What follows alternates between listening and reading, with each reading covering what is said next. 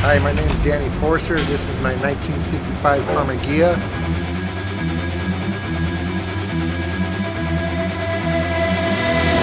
Catch it exclusively on Air Mighty Magazine.